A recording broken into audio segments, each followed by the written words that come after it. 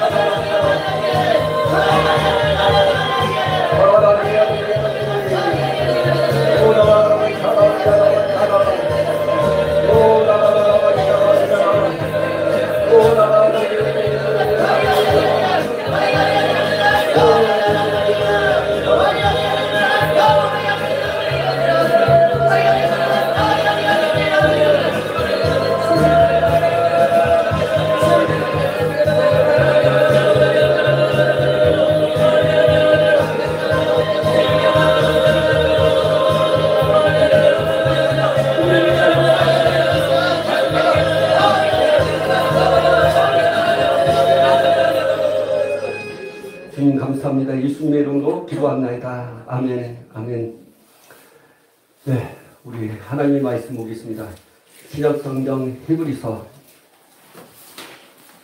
6장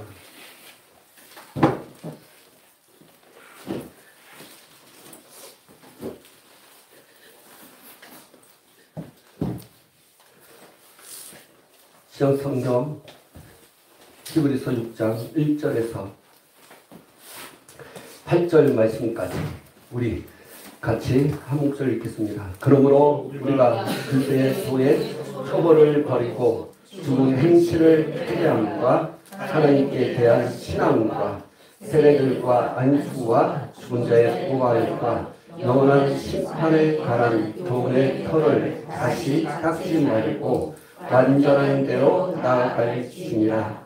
하나님께서 허락하시면 우리가 이것을 하리라. 한 번 빛을 받고 하늘의 의사를 바꾸고 참여한 바 되고 하나님의 선한 말씀과 내세의 능력을 바꾸고도 타락한 천사들은 다시 타락한 자들은 다시 새롭게 하여 회개하게 할 수 없나니 이는 그들이 하나님의 아들을 다시 십자가에 못 박아 드러내 놓고 욕되게 하니라. 땅이 그 위에 자주 내리는 비를 흡수하여 밭 가는 자들이 쓰기에 합당한 채소를 내면 하나님께 복을 받고 만일 가시와 엉겅퀴를 내면 버림을 당하고 저주함에 가까워 그 마지막은 불사름이 되리라. 아멘, 아멘, 아멘. 네, 이 본문 말씀을 통해서 온전함으로 예, 가업으로부터 자유함을 받으라. 라는 자유하라. 예, 그런 말씀의 제목을 가지고 하나님 앞에 저와 여러분이 은혜를 받기 원합니다. 사람은 과거로부터 예, 영향을 받, 받아서 현재를 살고 있지만 과거의 영향 때문에 그 현재가 예, 비참한 삶을 살아가는 경우가 많이 있습니다. 그 현재를 통한 그 미래로 앞으로 가는 더 나은 삶을 살아가야 됨에도 불구하고 현재 속에서 과거에 예, 매어서 살아가는 이들이 너무 많아요. 특별히 예, 연세를 드시면 더더욱 그러한 과거 속에 있는 그것이 추억이든 그것이 좋든 그것이 나쁘든 그 과거로 에, 거기서 만족하고 또한 그 과거를 생각하면서 현재로 살아가는 그런 삶을 살아가는 이 나이 드신 분들이 참 많습니다. 또한 젊은 분들도 그렇고 근데 신앙인들도 그러한 삶을 살아갑니다. 현재 신앙에 통해서 앞으로의 신앙을 향해서 에, 다른 박질하면서 달려감에도 불구하고 현재에 머물면서 과거에 대한 해상을 통해서 옛날에는 내 신앙이 이랬는데 그때는 내가 이렇게 기도했는데 그때는 내가 이렇게 봉사했는데 그런 과거의 생각에 매어서 현재 삶 속에서 과거보다 못한 신앙의 생활을 하고 있다는 겁니다. 현재는 과거보다 앞서지 못하고 있다는 것이 참으로 비참한 것입니다. 우리는 비참한 삶 속에서 살아가고 있어요. 그게 비참함이 비참한 삶인지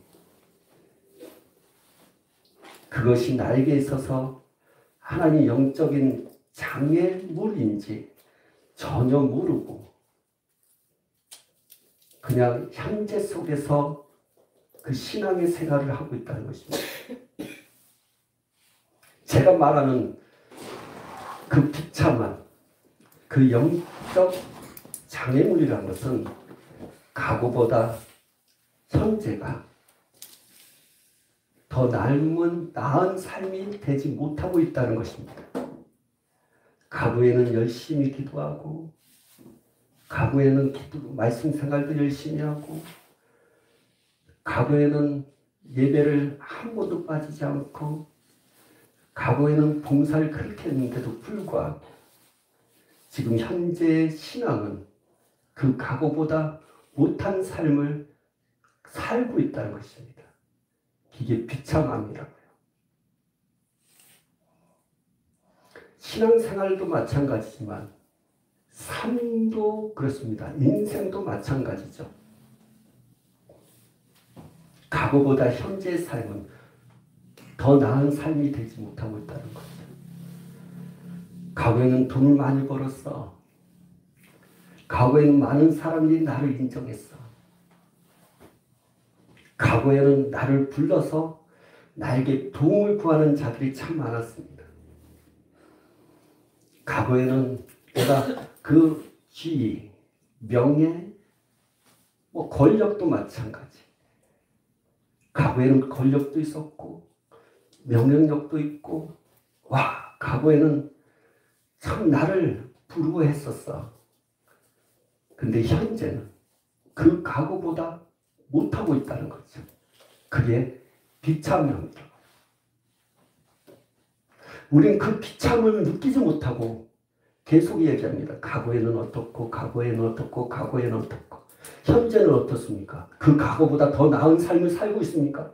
그 과거보다 돈이 더 많습니까? 현재가. 과거보다 그 명예가 더 강합니까?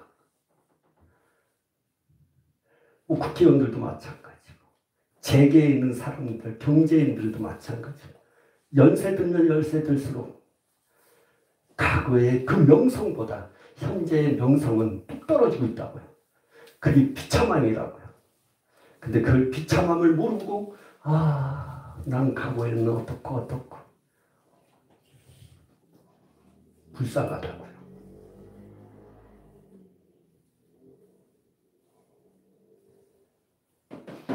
하나님은 그렇지 않습니다. 하나님은 과거보다 현재도 과거에도 현재에도 미래도 동일하신 분이십니다. 하나님 말씀하십니다. 나는 어제나 오늘이나 영원토록 동일하다. 그분 과거 때나 현재나 미래도 동일하십니다. 그에게는 항상 그분은 항상 기쁨이 많아요. 줄 것이 너무 많아요. 그분은 너무게 풍성하십니다. 채워 우리에게 뭐 부어주시고 부어주시고 부어주셔도 그분은 항상 채워져 있고 넘치도록 부어도 부어도 끊임없는 분이 하나님이십니다.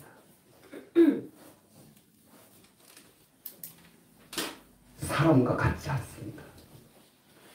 사람은 과거로부터 자유하지 못합니다.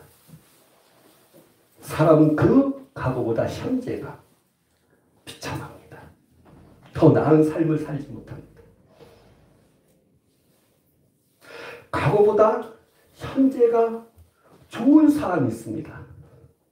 그런 미래에 대해서는 장담할 수가 없습니다.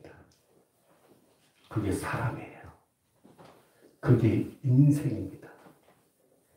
그게 사람의 연약성입니다. 그것이 사람의 한계성을 말하고 있는 것입니다. 과거보다 현재가 더 나을 수 있습니다. 그러나 미래에 대해서는 보장할 수 없는 게 사람이에요. 근데 하나님은 과거나 현재나 영영 동일하십니다.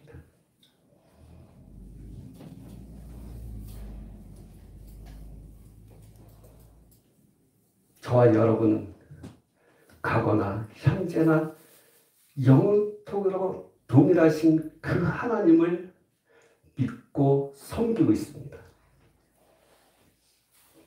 그것은 우리의 삶이 과거보다 현재, 과거에도 좋고 현재도 좋고 미래에도 보장을 받을 수 있는 것입니다. 이건 설명 잘 들으셔야 됩니다. 아까쯤에는 과거보다 현재가 좋아질 수 있습니다. 좋을 수 있습니다. 그러나 미래에 대한 보장을 할 수 없습니다. 라고 말씀드렸습니다. 그런데 저와 여러분은 하나님을 믿고 있다고요. 그분을 섬기고 있다고요. 그분은 가거나 현재나 영어도 동일하시다고요. 그 하나님을 우리가 믿고 있기 때문에 우리는 과거에도 좋을 뿐 현재도 좋을 것이고 미래에 대한 것도 보장이 돼서 미래에도 좋아질 수 있다는 거죠. 좋을 수 있다고 말씀드린 것입니다. 누구 때문에요? 하나님 때문에. 하나님은 그런 하나님이에요. 그래서 사람이 만든 신, 사람이 만든 조각되어진 그 상을 만들어서 섬기는 것이 기독교가 아니라고요. 사람이 만드는 신, 그분이 하나님이 아니시라고요. 하나님은 스스로 계시는 분이십니다. 유튜브에 보니까 어느 그 모르겠어요. 대학생하고 어떤 교수가 막 얘기하는 기독교에 근데 그 교수님은 예, 그 신학을 갖고 계시고 신학인가 봐요. 하나님을 잘 믿는 분인가 봐요. 신학적으로 학생이 질문합니다. 하나님은 어떻게 계셨습니까? 교수가 얘기합니다. 스스로 계신다. 아니 어떻게 스스로 계십니까? 이 세상에는 무엇이가 누가 만들었기 때문에 존재하지 어떻게 스스로 존재합니까? 그것에 대해서 교수님 설명해 주세요. 근데 교수님은 항상 아니 하나님은 스스로 계셔. 계속 변론만 있는 겁니다. 하나님이 스스로 계시다.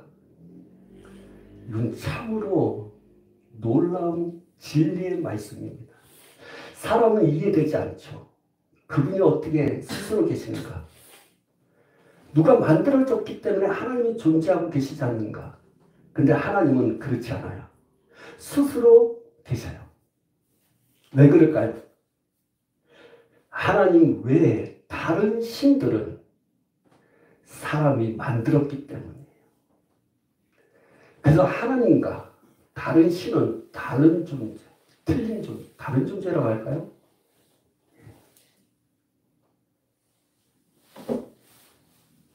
틀린 존재?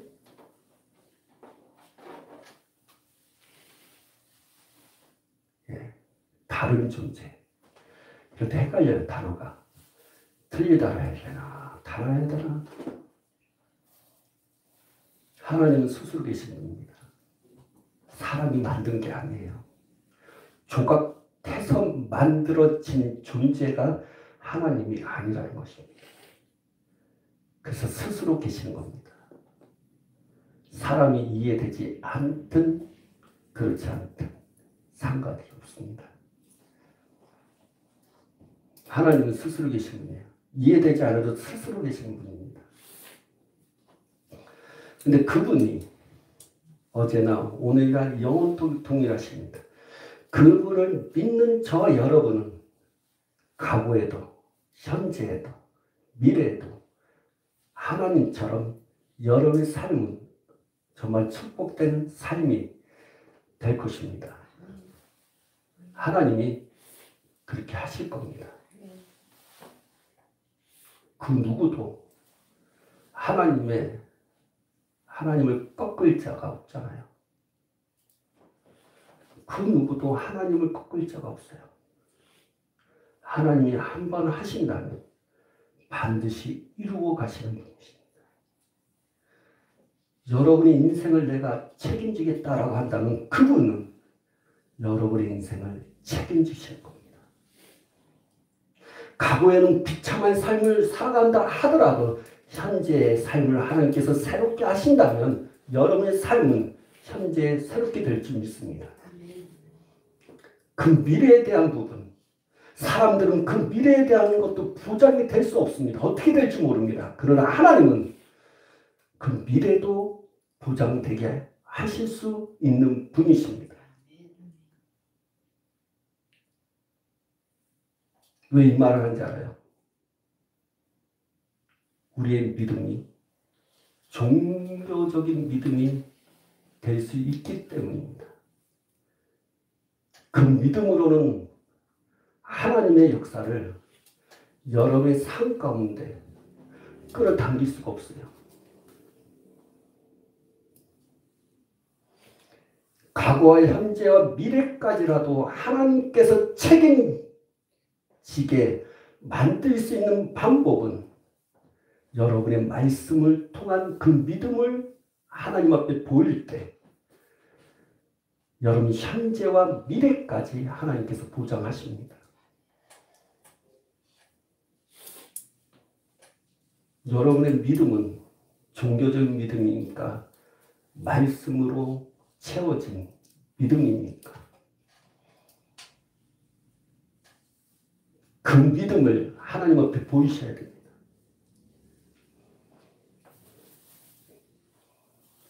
그 믿음이야말로 현재와 앞으로의 미래까지 하나님의 그 손길을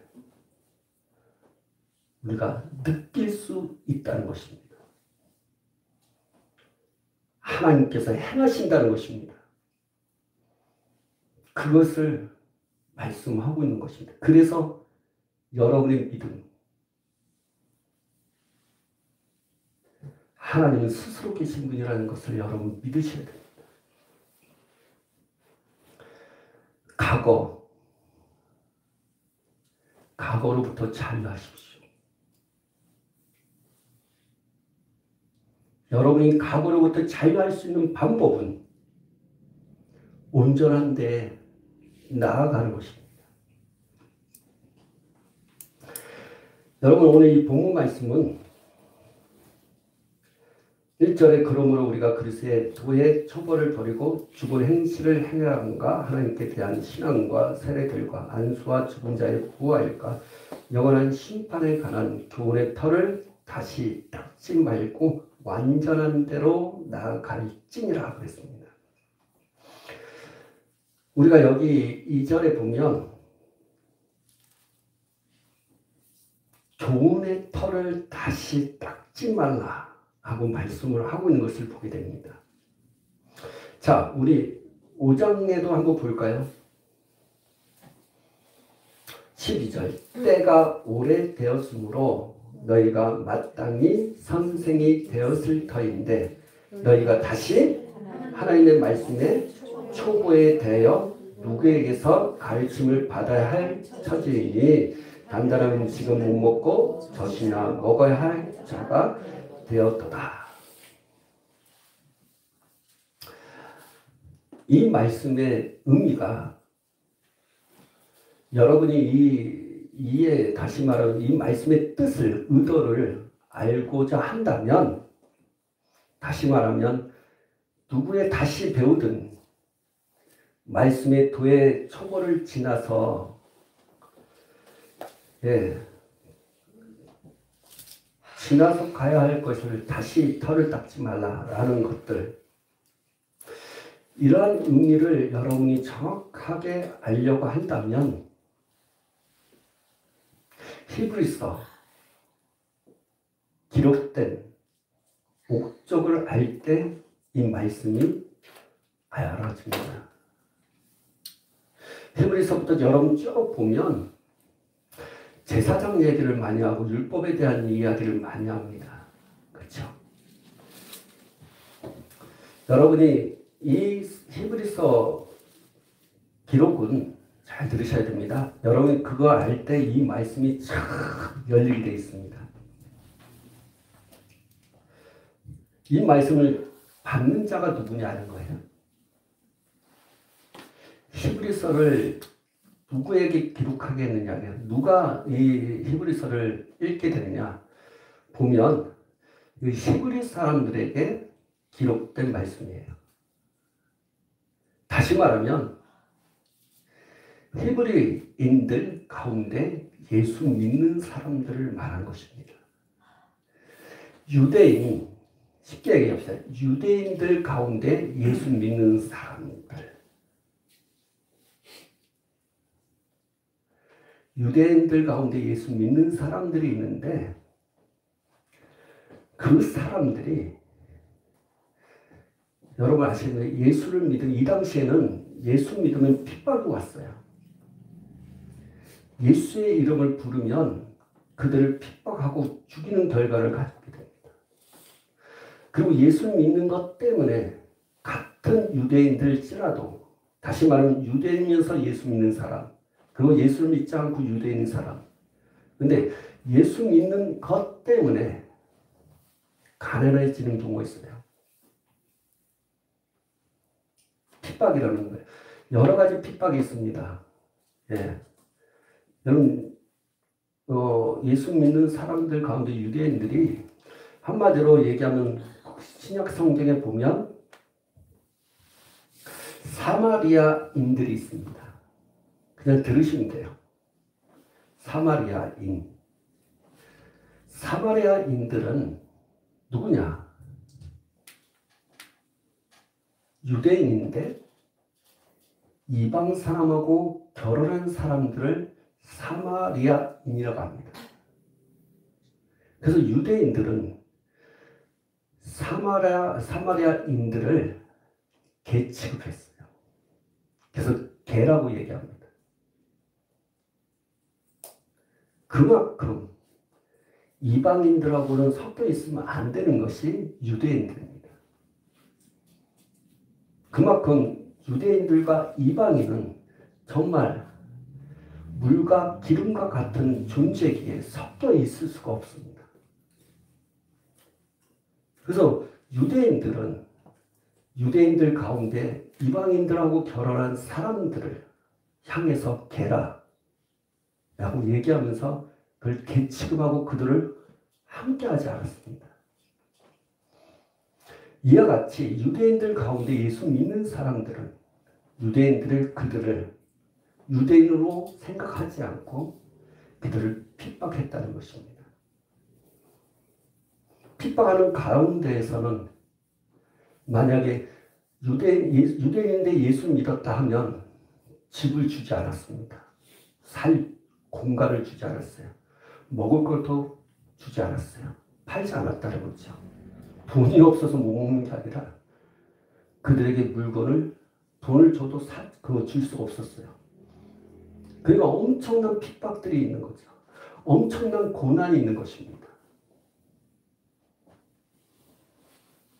그런 핍박과 고난이 있으니까 많은 유대인들, 예수 믿는 유대인들이 그 핍박을 견디지 못해갖고 이제는 예수님을 부인하는 그런 일들이 많아지게 됐습니다. 다시 유대교로 개종하는 사람들이 점점점 많아지고 있는 것입니다. 그들을 향해서 기록된 책이 히브리서입니다. 히브리서의 주제는 오직 예수만이 하나님이십니다. 그 예수를 믿는 데 있어서 신앙을 저버리지 말 것에 대한 말씀을 하고 있습니다. 그래서 히브리서 11장 믿음에 관한 것이 나오는 것입니다. 앞에 장은 멜기세덱에 대한 얘기, 율법에 대한 너희들 율법을 이야기하고 있는 율법은 벌써 폐지가 됐다. 제사 제대로 바뀌어졌다. 그러면서 예수를 믿을 것을 말하고 있습니다. 자 그렇다면 예수를 믿는 유대인들에 대해서 이 히브리서 기자는 얘기합니다. 너희들은 멜기세덱에 관한 것을 많이 배우지 않았느냐?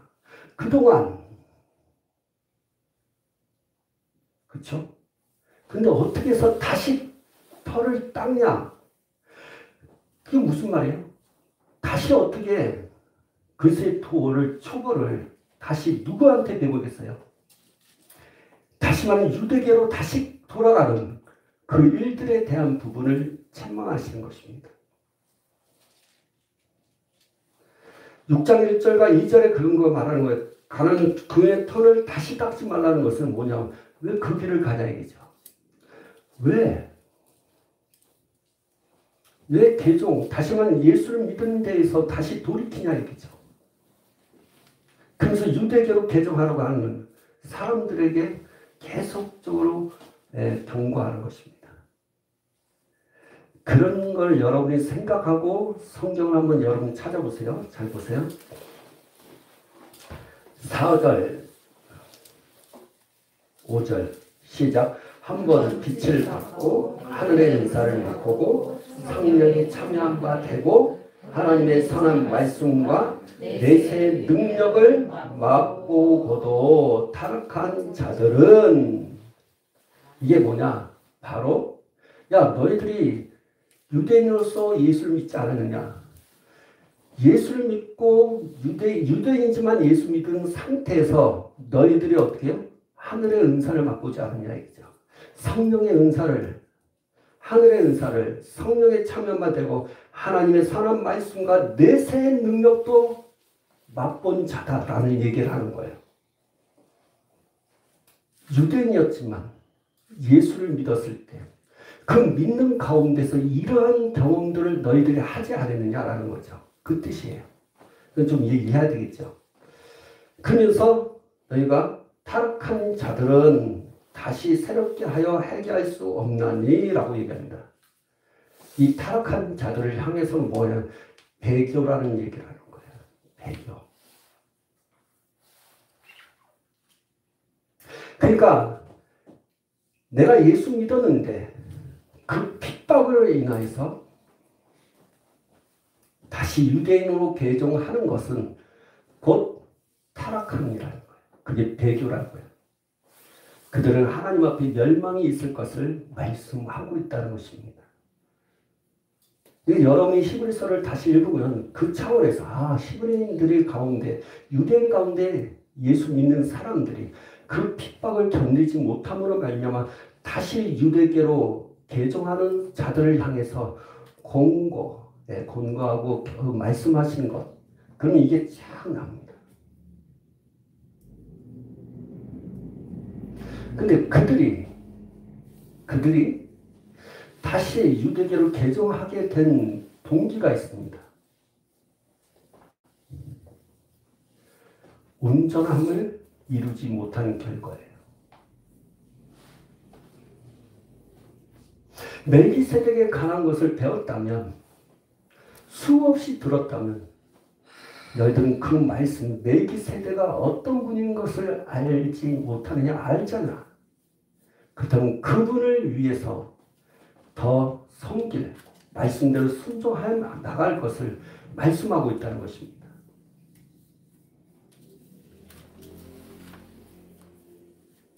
온전함으로 나가야 돼요. 온전함으로. 사람들이 각오로부터 자유함을 받지 못하는 것은 온전함을, 온전함을 이루지 못하는 거예요. 각오 속에 매여 있다는 거예요. 그 각오 속에서 계속 매여 있다 보니까 그것을 떨쳐버리고 온전함으로 나가야 되는데 그 온전으로 나가지 못했을 때그 각오로부터 자유함을 받지 못한다는 것을 말하고 있는 것입니다.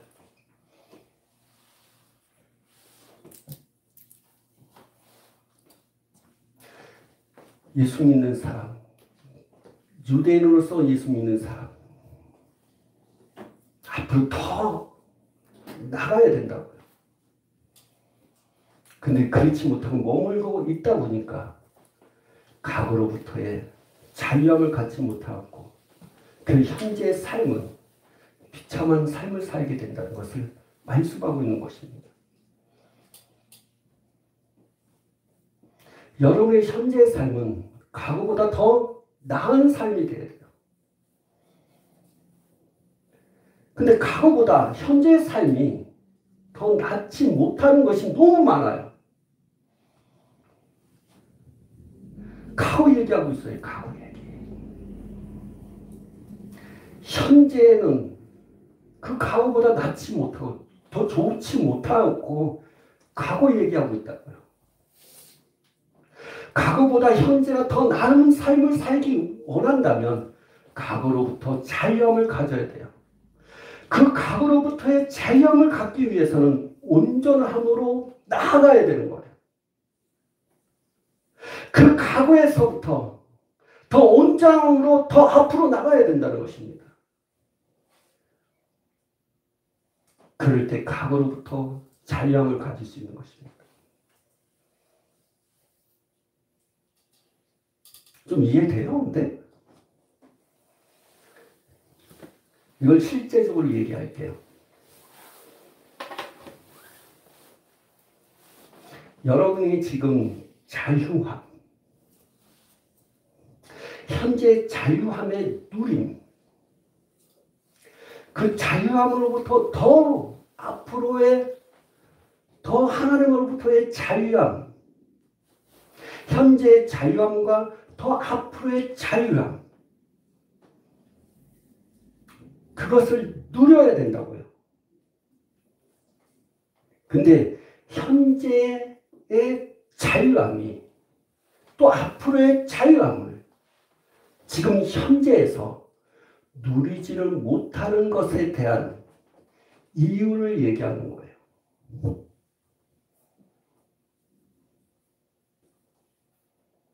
무슨 말입니까?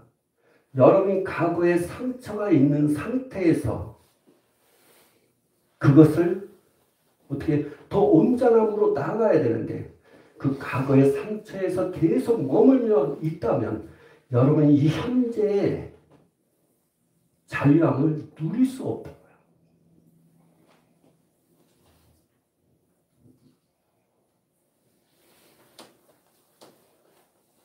과거의 아픔을 갖고 있다면 현재의 이 삶에서의 평강을 누릴 수 없다고요. 현재에서 현재에서 누구하고 만나든 그것이 가족이든 그것이 이웃이든 여러분이 아는 사람 과거에 나에게 상처 준 사람이면 그 과거의 상처 때문에 현재 그 사람을 대하는 게 거꾸롭다고요.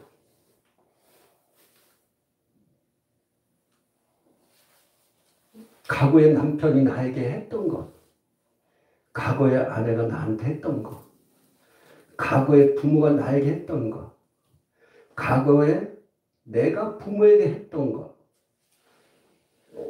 과거에 내가 이웃에게 이러한 상처를 받았던 것, 과거에 내가 이러한 상처를 이웃에게 넘겨주었던 것. 그것이 과거 속에 여전히 현재 속에 나에게 영향을 끼친다면 그것은 자유함을 받을 수가 없다고요. 그 과거의 상처는 지금도 이 현재 속에 이루어지고 있다고요. 그는 누구하고 다투면 과거의 얘기를 하고 있잖아요. 부모 자식하고 관계에 있어서 얘기하면 자식은 얘기하면 엄마 과거 이랬잖아 아빠 이랬잖아 야 너도 과거 이랬잖아 이거 지금 여러분이 이야기하는 현재 속에서 과거의 얘기를 가지고 서로 상처를 주고 있다고요. 연동 이해 더 가죠? 지금 내 현재의 삶은 자유함을 가져야 돼. 그 과거의 상처를 끄집어내서 현재 속에서 계속 다투고 미워하고 시기하고 질투하고 싸우고 다투고 있다고요.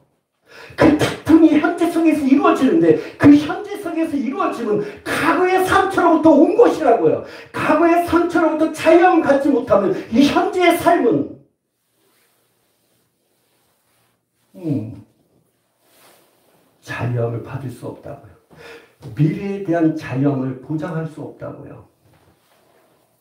지금 여러분의 현재 속에 지금의 다툼은 과거 속에 있는 거 가지고 다투고 있다고요, 지금. 지금 내가 왜 가난해? 당신이 예전에 뭐 하다가 도박하려다가 아니면 돈 뭐 어떻게 쓰다가 당신이 예전에 돈만 잘 관리했으면 지금 현재는 우리의 나, 우리의 삶은 더 나은 삶이 되지 않아? 당신이 그때 나에게 돈을 맡겼으면 나에게 가지고 있는 모든 것에 대한 당신이 나에게 그 물질에 대한 것에 대한 부분들을 철저하게 나에게 다 알려줬으면 지금 현재의 삶은 더 나을 텐데 왜 그때 나한테 얘기 안 했어? 그때 왜 나는 얘기 안 했어?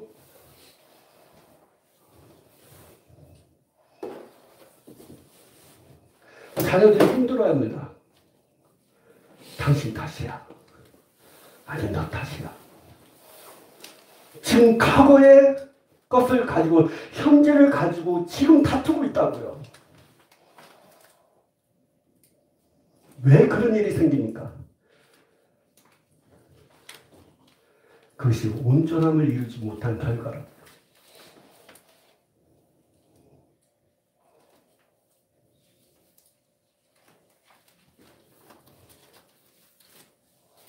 과거로부터 자유함을, 자유함을 가져야 돼요. 왜 두려워합니까? 현재 왜 두려워합니까? 현재. 왜 현재 왜 우울증이 있습니까? 현재 나는 왜 당대하지 못합니까?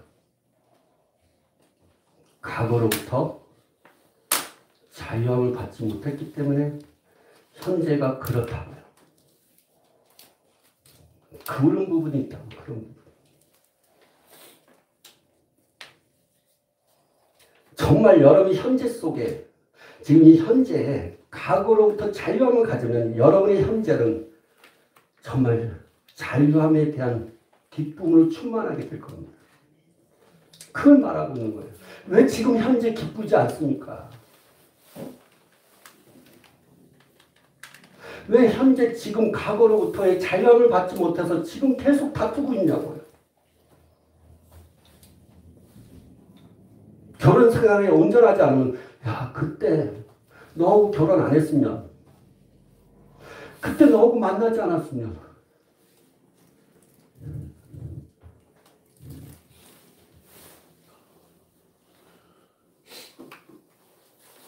어떤 분은 음, 그냥 나를 붙잡고 확 끌고 가고 결혼 막 옥절이 시키는 사람 있잖아요.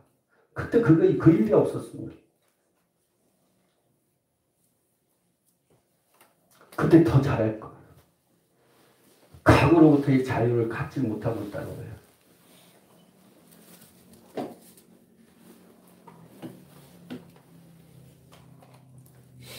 자유하셔야 돼요. 과거로, 과거로부터. 특별히 과거의 그 상처로부터 자유하셔야 돼요. 지금 현재 남편이 꼴보기 싫고 아내가 꼴보기 자네가 꼴보기 싫다? 재정적인 문제 지금 빵꾸가 나고 있어. 재정적으로 너무 어려워요. 그 과거에 이렇게 잘했으면 지금 문제가 없을 거 아니에요. 그거에 대한 고민을 하고 있습니까, 지금? 우울증에 대한 부분들.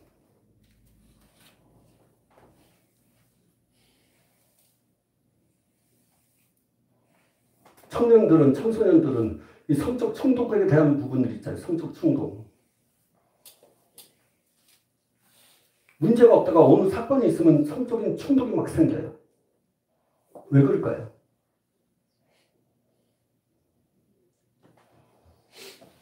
다른 게 아니에요.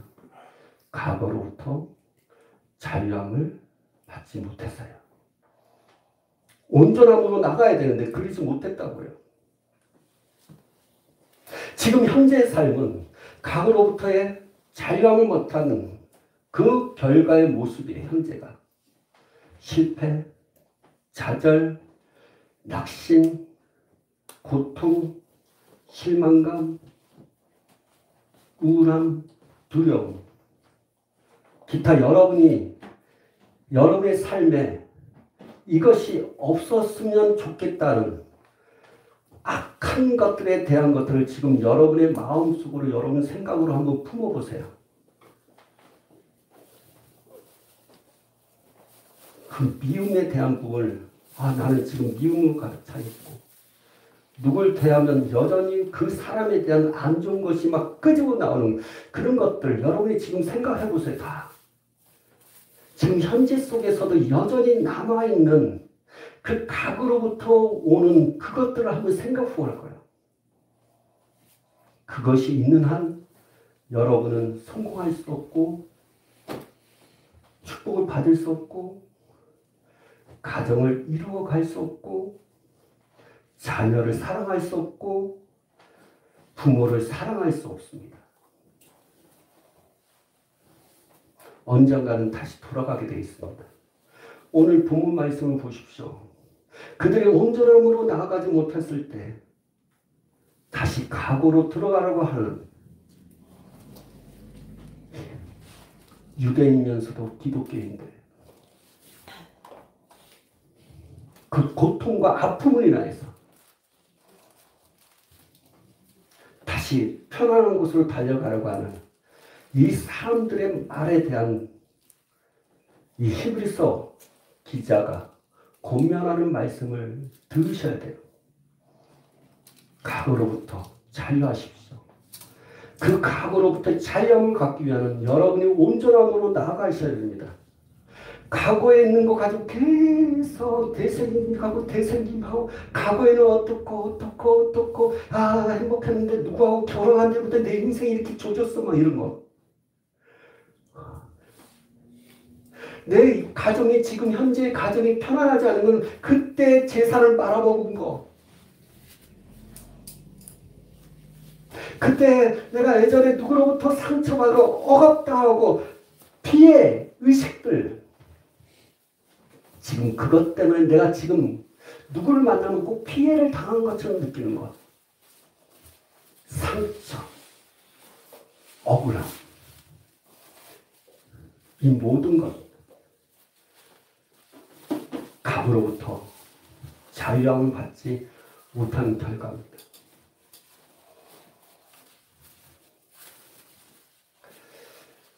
저는 이 각오로부터의 그 자유, 운전함으로 나가는 길, 어떻게 하면 각오로부터 자유함을 받고 온전함으로 나갈 수 있을까요?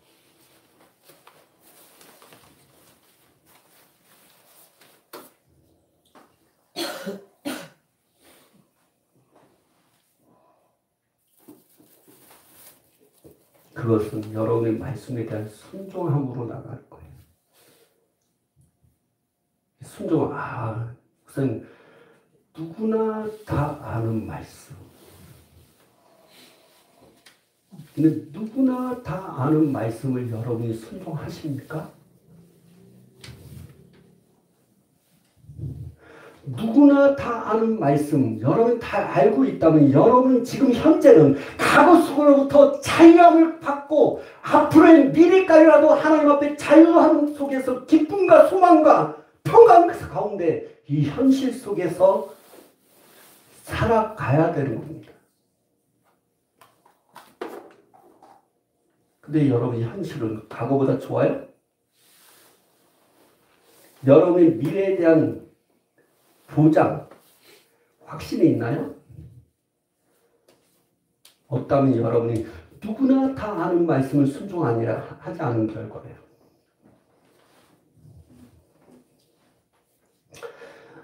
어, 저가 이 과거로부터의 어떤 이 상처나 과거로부터의 어떤 실패, 좌절, 그리고 저의 부족함,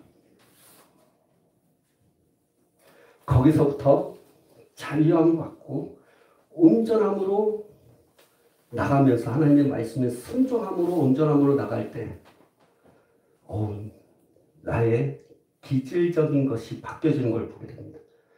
여러분 사람들은 기질, 성격 안 바뀐다고 얘기합니다. 천성적이니까 성령을 통해서는 그 기질이 바뀝니다.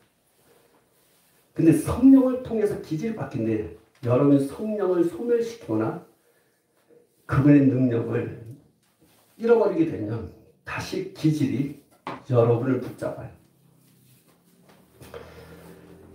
우리의 기질은 성령을 통해서만이 새롭게 됩니다. 성령 아니고서는 여러분의 기질은 여러분을 붙잡을 겁니다. 여러분의 기질이 여러분을 붙잡으면 좋은 것도 있겠지만 나쁜 것이 더 많아요. 성령만이 우리의 기질을 바꿀 수 있습니다. 그 한 예로 저는 이 말을 더듬거리는 게 참 많아요. 그리고 그 긴장성이랄까요? 딱 하면 긴장이 딱 생기면 더듬거려요. 최근에 여러분이 저를 더듬는 거 잘 보시지 않을 거예요. 저가 특별히 외부에 나가서도 마찬가지예요. 여기서는 좀 부드러워도 잘 얘기하더라도 저희 다른 데 북미를 가면 떨어요. 어제도 사실 그 기독교 성경 방송, 교육신문 방송인가요? 거기서 뭐 8주년 기념 예배가 있어갖고 저 대표 기도로 갔습니다.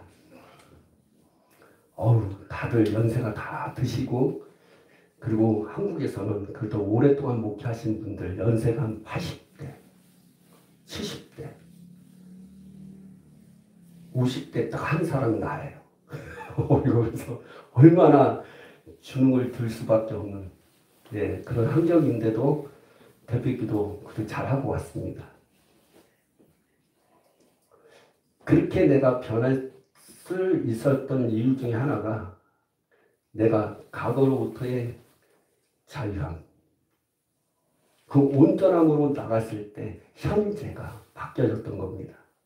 저는 하나님 앞에 기도했어요. 하나님, 내가 과거에 이런 사람이었습니다. 말을 긴장성이 있었고 말도 더듬더듬거리고 이런 부분이 있습니다. 하나님, 이거는 하나님의 것이 아닙니다. 하나님 강하고 담대하신 분이십니다. 예수님이 이 땅에 오셨을 때 많은 사람들을 가르칠 때 떠듬떠듬 거리지 않았습니다. 확신 찬 상태에서 많은 사람들에게 복음을 전파했습니다. 그게 하나님의 성품입니다. 떠듬떠듬 거리는 하나님의 성품이 아닙니다. 주님, 이 시간 이거는 귀신의 것임을 선포합니다. 이거는 하나님의 성품하고 전혀 다른 성령의 성품이 아닌 것입니다. 이 시간 예수 이름으로 나가시자 저는 하나님의 성품을 받기 원합니다. 강우 담대하고 확신이 찬 설교를 할 수 있도록 도와주시옵소서. 저는 이 말씀을 믿습니다. 그리고 온전함으로 나갔어요.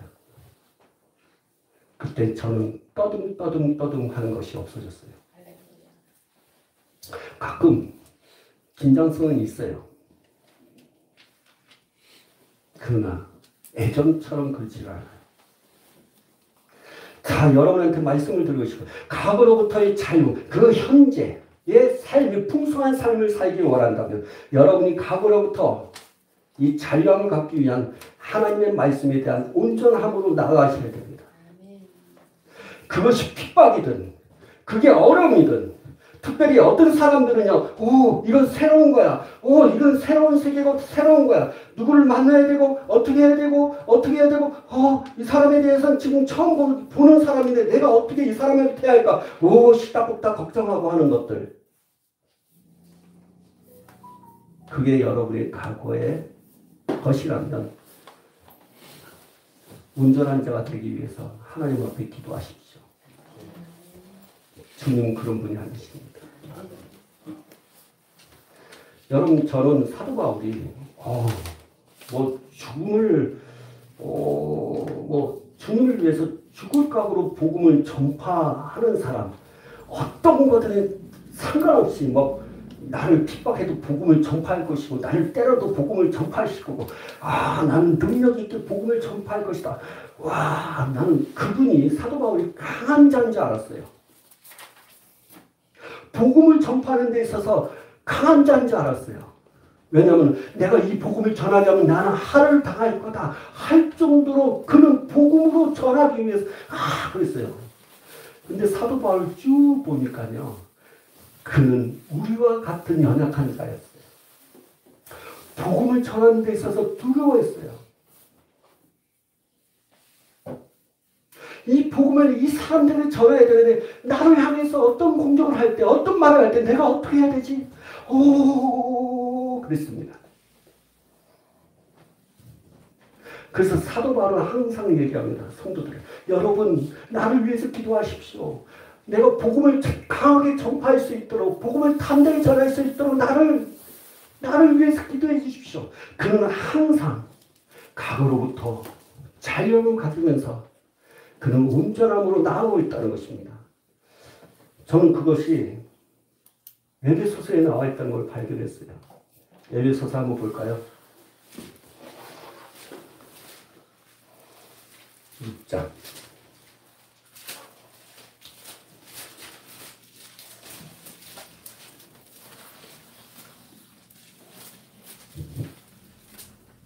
(19절) 시작 또 나를 위하여 구할 것은 내게 말씀을 주사 나로 입을 열어 복음의 비밀을 담대히 알리게 하옵소서. 성도 여러분요, 우리는 연약한 존재입니다. 과거로부터 자유함을 받고 싶습니다. 그러나 그 과거가 우리를 붙잡고 있단 말이에요. 우리는 너무 연약한 존재입니다. 그 과거를 잊고 싶은데 다시 생각납니다. 왜 생각날까요? 과거로부터 자유함을 못 받으면 항상 사건을 통해서 생각납니다. 잘 드세요. 내가 왜 과거로부터 자유함을 못합니까? 사건 때문에. 사건. 일이 만들어진다고, 일이 만들어진다고요. 그 일 때문에 과거에 이것들이 올라온다고요. 자, 일이라는 것은 여러분 좋든 나쁘든 마찬가지예요. 저 같은 경우는 일이 어떤 거예요? 설교예요. 설교 딱 쓰면 어떻게 해요? 이게 일이에요. 그렇게 어떻게 해요? 과거로부터 자유함을 받지 못하고 왜, 어, 어, 음, 음, 어떡하지?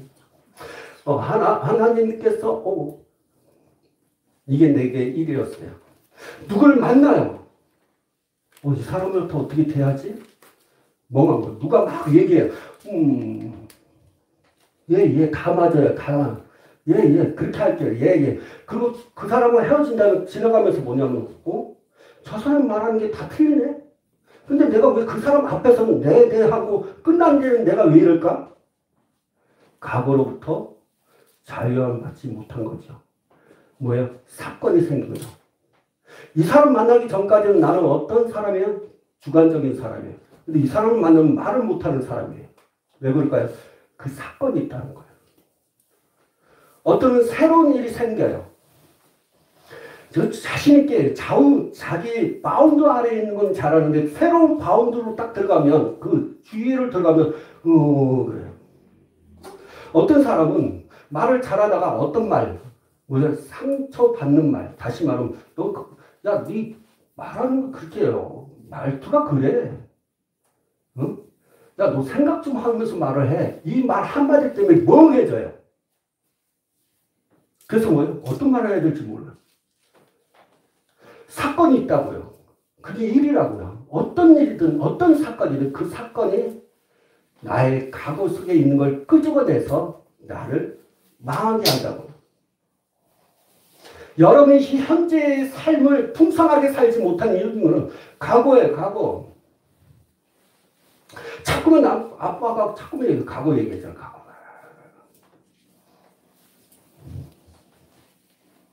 나는 지났는데 여러분 한번 봐봐요. 나는 지났는데 아빠한테 야단 맞고 나는 그거 다 풀었어요. 근데 왜 아빠 왜 자꾸만 그거 과거 얘기해요? 그거 있잖아. 어, 항상 과거가 현재 속에 나타나는 것은 사건 때문입니다. 근데 사람들은 그 사건이 생기면 그 사건 속에 푹 들어가서 헤어나지 못합니다. 그게 바로 말씀에 대한 온전함으로 나가지 못하는 모습이에요. 과거의 상처, 여러분 꼭 기억해요. 과거의 상처는 다 기억할 수가 없어요. 나도 과거의 상처 기억 못해요.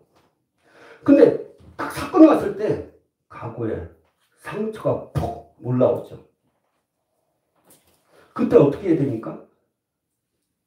푹 깔아앉는 게 아니라 그거 그때가 그 과거로부터 자유함을 받을 수 있는 길이에요. 길.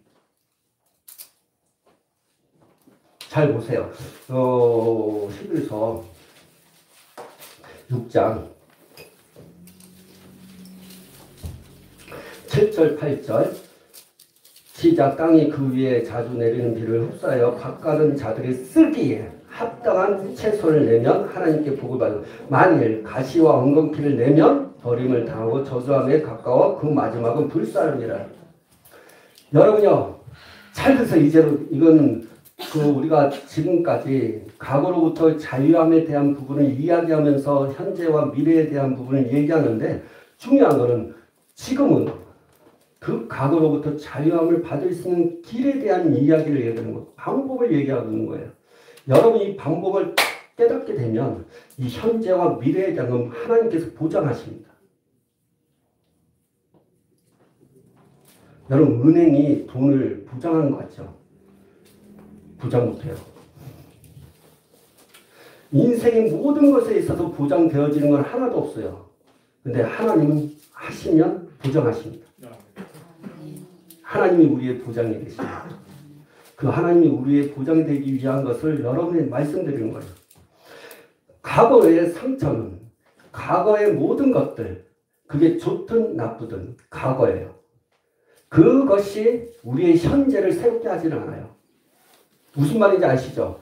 과거가 좋든 싫든 현재를 새롭게 하고 미래를 보장하지는 않아요. 그 과거는 현재보다 과거가 더 좋아서 현재보다 못하는 경우도 있고요. 그 과거보다 현재가 좋아져도 미래에 대한 보장이 없습니다. 그런데 하나님은 그 과거의 것을 자유롭게 하면 현재와 미래에 대한 것을 보장합니다. 잘 들으세요. 다시 합니다. 과거로부터 자유하십시오. 그러면 현재와 미래가 보장이 된다고요. 근데 과거가 다시 끄집어내는 것은 항상 사건 때문이라는 거예요. 그 사건과 일이 있을 때 과거가 드러난다는 것입니다. 근데 그 과거가 드러난 그 순간이 우리가 하나님 앞에 치유를 받을 수 있는 순간이라고요.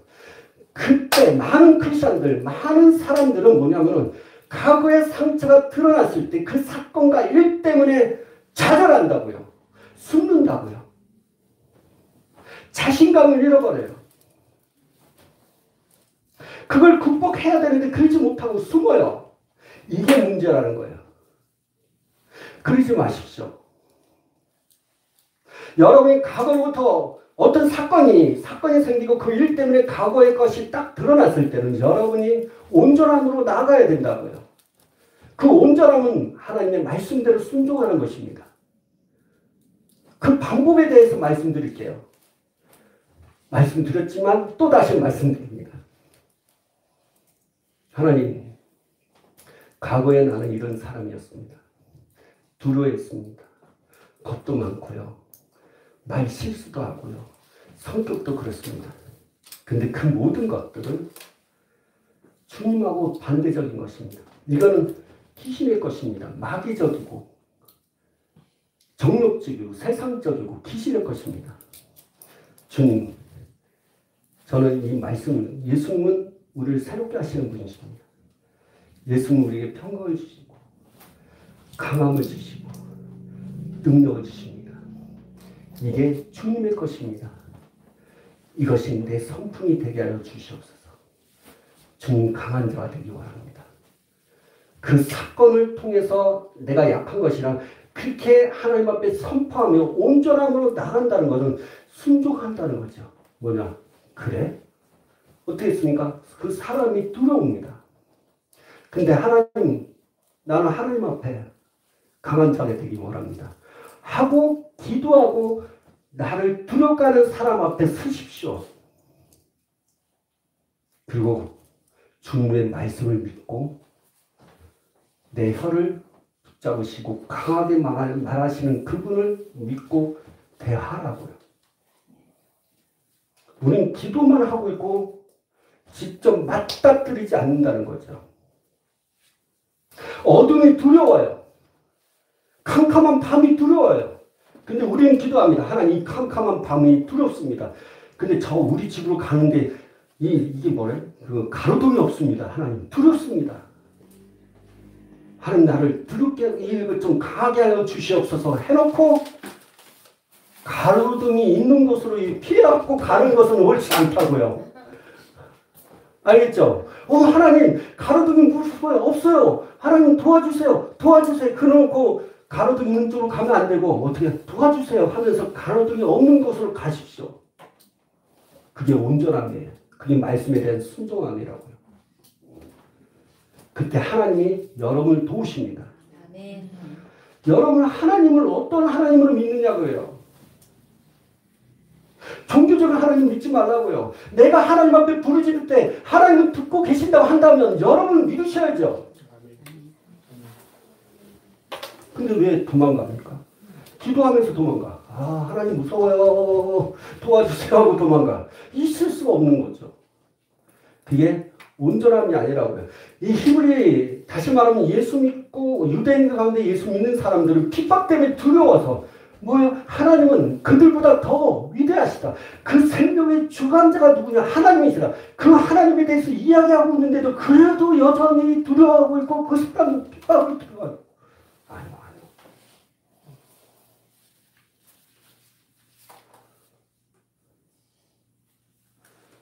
응?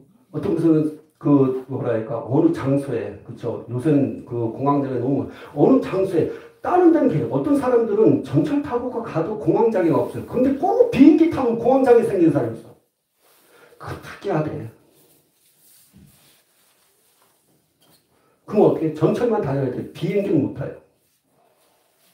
어떻게 해야 됩니까? 얘기할 하나님 두려움은 귀신의 것입니다. 마귀적입니다. 주님, 주님 강호 담대하십니다. 저희가 강하게 줄 믿습니다. 이 두려움을 주는 영은 다 나갈지어다. 주님 평강으로 채워주세요. 그리고 뭐예요? 비행기를 타십시오. 처음엔 사단이 역사할 겁니다. 뭐야? 너 탔냐? 근데 너 한번 진짜 그 두려움이 없는 것 같아? 그래서 귀신은 역사를 하죠. 근데 여러분이 딱 타고 계속적으로 귀신과 싸웁소. 맞닥뜨리고 온전한 마음으로 계속 말씀에 순종하면 그러면 여러분은 그 비행기에서 자유함을 가질 겁니다.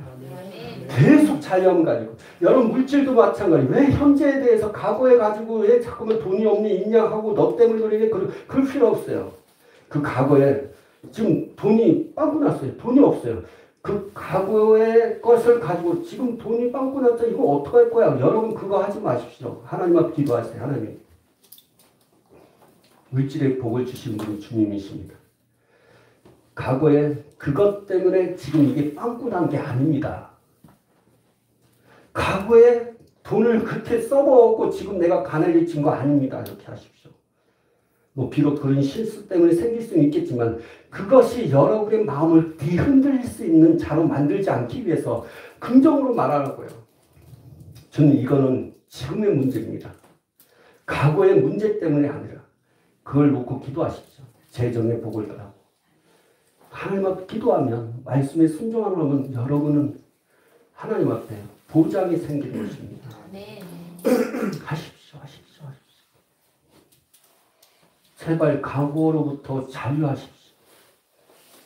그것이 어떤 것이든지 다 그 과거의 것들은 마귀적이고 정력적이고 귀신의 것입니다. 세상의 것입니다. 과거의 모든 것들은 좋든 싫든 그것이 내 현재에 어떠한 도움이 되지 않는다면 내 현재의 삶을 바꾸고 내 미래에 대한 보장이 되지 않는 거라면 세상적이고 마귀적이고 정욕적이고 귀신의 것이기 때문에 그걸 여러분이 쫓아내시고 그건 하나님의, 것, 하나님의 것이 아니기 때문에 쫓아내시고 하나님의 말씀을 여러분 믿고 순종하십시오. 그때 여러분의 현재는 과거로부터 자리함을 받게 되고 미래에 대한 보장이 있게 될 줄 믿습니다. 아멘. 이걸 성경에서 말하고 있는 것입니다. 그리고 기억하십시오. 사단은 항상 우리를 미혹한다는 사실을 아셔야 됩니다. 그 과거로부터의 그 상처가 그 과거로부터 어떤 것들이 자유함이 어, 진짜 자유함 받았나? 안 받았나? 그 의심을 하게 만들 겁니다. 미혹을 받지 마십시오. 자, 요한일서 3장 7절.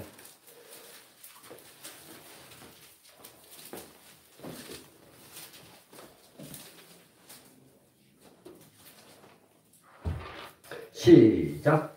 자녀들아 아무도 너희를 미혹하지 못하게 하라. 의를 행하는 자는 그의 의로우심과 같이 의롭고 잘 들으세요. 자녀들아 아무것도 너희를 미혹하지 않도록 하라네요. 그리고 여러분이 힘쓸 것은 의를 행하는 것입니다. 그리고 기억하십시오. 이 모든 것에서 다시 말하 미혹하는 그 영들로부터 자유함을 갖고 그들이 어떠한 역사를 하든지 우리가 이길 수 있는 것은 하나님의 말씀임을. 자, 우리 여기 2장에 14절 읽고 기도하는 시간 함께 보랍니다. 시작. 아이들아, 내가 너희에게 쓴 것은 너희가 아버지를 알았으며 아버지라 아비들아, 내가 너희에게 쓴 것은 너희가 태초부터 계신 일을 알았음이라. 청년들아, 내가 너희에게 쓴 것은 너희의 강하고 하나님의 말씀이 너희 안에 거하시며 너희가 흉악한 자를 이겼습니다. 여기 청년들아라고 했을 때 여러분이 이름을 넣으세요. 누르고 고백하십니다. 시작. 이 성남아, 내가 너에게 쓴 것은 너희가 강하고 하나님의 말씀이 너희 안에 거하시며 너희가 흉악한 자를 이겼습니다. 자, 성을 넣으니까 좀 그렇죠. 이름만 넣읍시다. 시작. 성남아, 내가 너희에게 쓴 것은 너희가 강하고 하나님의 말씀이 너희 안에 거하시며 너희가 흉악한 자를 이겼습니다. 하나님의 말씀이 여러분에 있다면 흉악한 자는 여러분이 이기게 된다는 것입니다. 여러분이 미혹하는 자들이 있을지라도 여러분이 승리하게 될 것입니다. 과거에 그것이 여러분에게 고통과 아픔과 슬픔과 괴로움과 뭘 어, 어떤 것들 풍성하지 못하게 한들 여러분이 말씀이 여러분 안에 있다면 그 거기서부터 여러분 자유함을 받게 될 겁니다. 현재는 과거보다 더 나을 것입니다. 아멘 아멘. 현재는 과거보다 더 나을 것입니다. 미래도 보장이 될 것입니다. 아멘. 여러분 과거가 현재보다 못하는 것은 야, 현재가 과거보다 못하는 것은 비참한 거예요. 알겠죠? 현재가 과거보다 못하면 비참한 거예요. 근데 여러분이 정말 질 가운데 있고 이 말씀을 믿는다면 여러분 과거보다 현재가 더 좋습니다. 그건 여러분에게 축복입니다. 아멘. 아멘. 네. 우리 이 말씀을 생각하면서 우리 풍성을 기도하는 시간 갖도록 일어나셔서 어, 기도할 수 있는 사람들은 기도하시고요. 그렇지 못하게 앉아서 기도하셔도 됩니다.